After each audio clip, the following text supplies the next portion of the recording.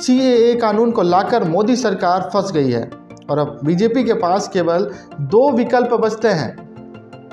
धैर्य रखिए, बताते हैं, लेकिन उससे पहले समझते हैं कि आखिर कैसे बीजेपी सी कानून में फंस चुकी है। आगे बढ़ने से पहले थोड़ा सा सीएए की भूमिका जान लेते हैं और समझते हैं कि ये मामला बना कैसे। सीएए जिसको 11 मार्च 2024 को नोटिफाई करके लागू कर दिया गया। और सी के तहत भारत के तीन पड़ोसी देश, अफ़गानिस्तान, पाकिस्तान और बांग्लादेश। वहाँ से जो शरणार्थी भारत आए थे, उनको भारत की नागरिकता देने के संबंध में इसमें प्रावधान दिए गए हैं। और इसको लेकर जो मुख्य विवाद है, वो ये विवाद है कि जो एक कानून है, वो गैर मुस्लिम धर्म से और और इस कानून को लेकर जो मुख्य विवाद है, वो विवाद ये है कि ये कानून गैर मुस्लिम जो लोग हैं उनको केवल भारत की नागरिकता देने का प्रावधान करता है। जो लोग मुस्लिम जाति से, मुस्लिम समुदाय से संबंध रखते हैं, उनके लिए ये कानून नहीं है। उनको इस कानून के तहत भारत की नागरिकता नहीं दी जाएगी। केवल उन्हीं कम्युनिटीज को भारत की नागरिकता इस कानून के तहत दी जाएगी, जो हिंदू, सिख, बौद्ध, जैन, पारसी और ईसाई समुदाय से संबंध रखते होंगे। अब आपको, हम जो भारत का संविधान है जिसको भारत के संविधान की कुंजी कहा जाता है, प्रेम्बल कहा जाता है, उसको एक बार पढ़ के सुना देते हैं। इसमें लिखा है, हम भारत के लोग, भारत को एक संपूर्ण, प्रभुत्व संपन्न, समाजवादी पंथ निरपेक्ष लोकतंत्रात्मक गणराज्य बनाने के लिए तथा उसके समस्त नागरिकों को सामाजिक, आर्थिक और राजनैतिक न्याय, विचार, अभिव्यक्ति, विश्वास, धर्म और उपासना की स्वतंत्रता, प्रतिष्ठा और अवसर की क्षमता प्राप्त कराने के लिए तथा उन सब में व्यक्ति की गरिमा और राष्ट्र की एकता और अखंडता सुनिश्चित करने वाली बंधुता बढ़ाने के लिए दृढ़ संकल्प होकर इस संविधान सभा में आत्मसमर्पित करते हैं।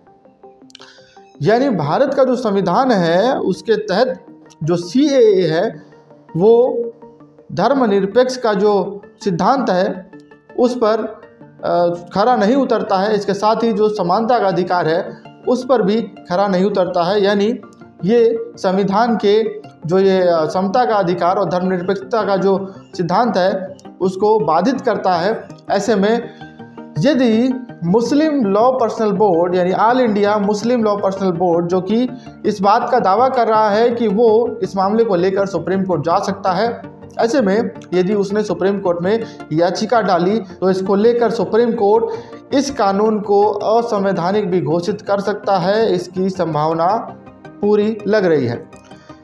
क्योंकि जो राजनीतिक पार्टी है, उनका कहना ये है, बीजेपी पार्टी का कहना ये है कि ये जो कानून है, केवल जो शरणार्थी हैं, उनको नागरिकता देने का प्रावधान करता है, किसी की नागरिकता छीनने का प्रावधान नहीं करता है हालाँकि इसमें जो मुस्लिम समुदाय है, उसको नहीं जोड़ा गया है। उसके पीछे कारण ये है कि जो तीन पड़ोसी देशों की हमने बात की है, वो तीनों देश मुस्लिम राष्ट्र हैं और वहाँ पर मुस्लिम अल्पसंख्यक नहीं है और अल्पसंख्यक न होने की वजह से उनके खिलाफ कोई प्रताड़ना नहीं की गई होगी, ऐसा माना गया है राजनीतिक पार्टी द्वारा।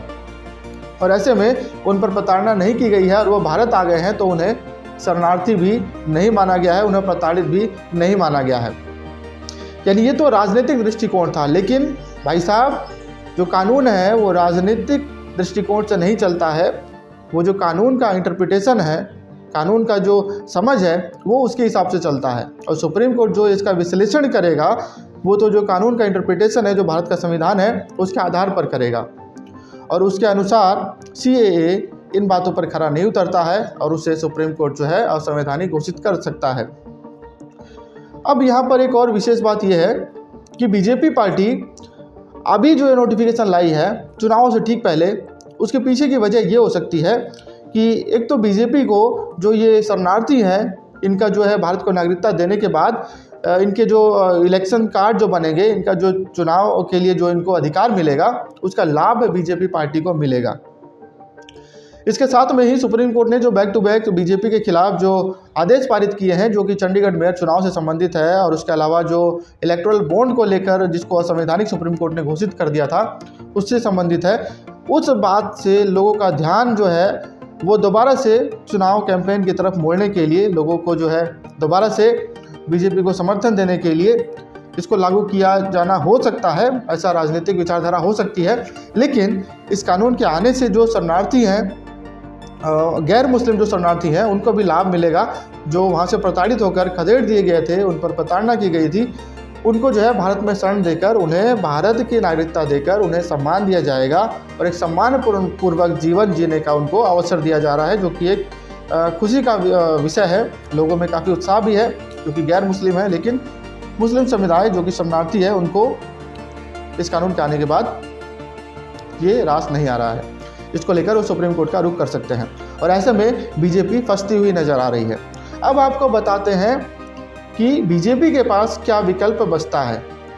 देखिए, इन चुनावों के ठीक बाद और यदि Muslim personal law board Supreme Court जाता है और सुप्रीम कोर्ट का इस विषय में कोई निर्णय आने से पहले बीजेपी को किसी भी हाल में भारत को हिंदू राष्ट्र घोषित करने के लिए जो भी कानूनी प्रक्रिया करनी है उसको पूरा करना होगा। यही नहीं बीजेपी को हिंदू राष्ट्र भारत को बनाने के साथ साथ कानूनी रूप से उसको जो है रेट्रोस्पेक्टिव भी लागू करना पड़ेगा, यानी पहले से लागू करना पड़ेगा सीएए को लागू करने से पहले से लागू करना पड़ेगा और भारत के संविधान में जो सुधार करने की आवश्यकता है, वो करना बीजेपी को पड़ेगा।